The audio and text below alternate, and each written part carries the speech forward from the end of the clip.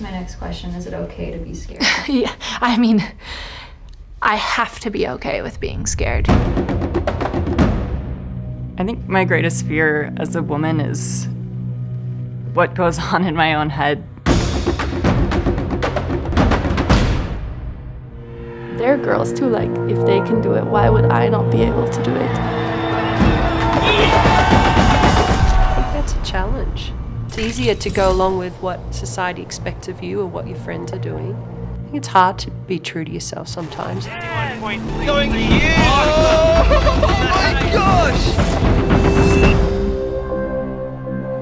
And, you know, I have had a couple of situations where I have brushed past death.